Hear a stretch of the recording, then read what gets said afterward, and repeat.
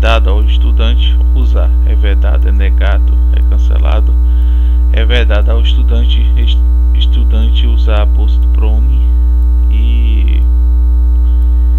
é vedado ao estudante usar do ProUni e estar simultaneamente matriculado em uma instituição superior pública e gratuita. Portanto, quem for selecionado por ambos deve optar por um deles. Pré-seleção em qualquer das chamadas, o ProUni assegura o candidato apenas na expectativa direta da bolsa, condicionado a seu efetivo usufruto, a regular, participação e aprovação das fases posteriores do processo seletivo,